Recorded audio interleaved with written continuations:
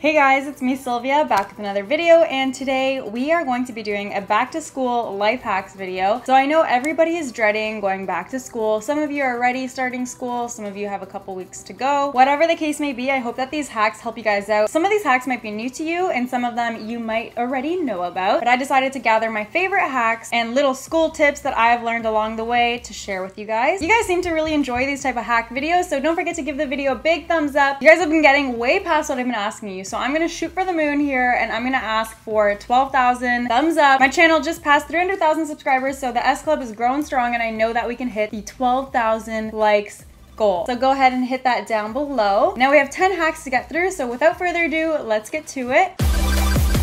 Now the first hack, you're walking into your classroom, you see the teacher, you've never really talked to them before, you've never seen them around. What I suggest is you just go right up to them, introduce yourself either before the class starts or maybe afterward. Making this extra effort to go compliment your teacher or introduce yourself to the teacher will get them to remember you and like you, get to know you. They'll most likely grade you a lot more positively based on that. Now this next hack is something I did all through high school, a lot through university. Listening to the sound of rain and thunderstorms will help to keep your mind focused and to ignore all the background noise. So I usually just search up a video on YouTube for a rain soundtrack, but I recently found out about this website that's called rainymood.com, and this will actually play for you a 30 minute soundtrack of just rain and thunderstorms. So that once the 30 minutes of rain soundtrack is done, you know that you can take a break, you've been studying hard for a half hour. It's a really great way to stay focused. Now this next hack is really great if you're required to memorize a lot of information for your test. A great tip while studying is to chew a uniquely flavored piece of gum, something that's new to you that you don't normally taste. And chewing on this while you're studying and then also while you're writing the test will trigger the information that you learned while you were studying. So try this out. You get to chew on a really tasty piece of gum while also memorizing a lot of information for your test.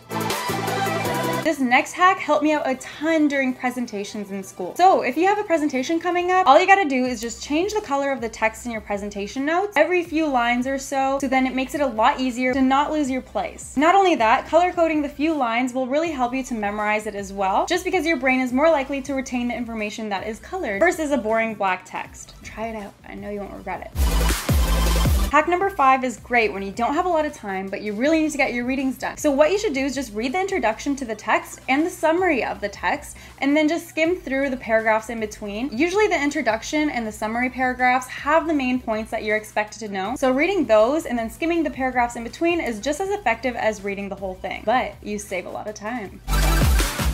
All you gotta do to keep organized notes and to memorize those notes a lot easier is to actually label your highlighter colors. Label those highlighters by different important categories that you're expected to know throughout school so your brain begins to recognize each color to that category of importance and then you'll be able to memorize a lot quicker. For example, label your green highlighter with date so you know to highlight all the important dates with your green highlighter. Yellow could be for important words, blue for important people, pink for relevant places. Doing this will not only organize your notes but it'll also really help you retain the important information so the seventh hack is really useful if you're a slow note taker. Everybody has a phone nowadays, so just whip that baby out and just take a picture of the chalkboard or the projector screen, whatever it is that your teacher is teaching on. Snap a pic with your cell phone for later and it'll make sure that you can get all the notes down, no problem.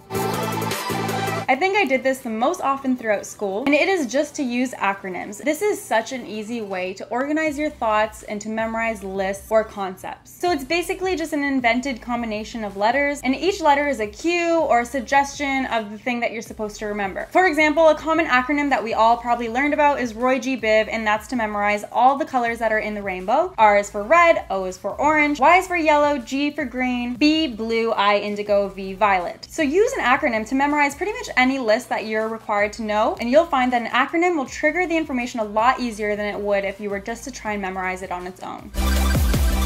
So this hack is just to set your class schedule as your home screen on your phone so you're not constantly having to look at your little piece of paper. If you have it as your home screen for the first couple of weeks of school, it's so easy to just take a peek at and know exactly where you're going. Not to mention, you'll definitely memorize your schedule a lot quicker.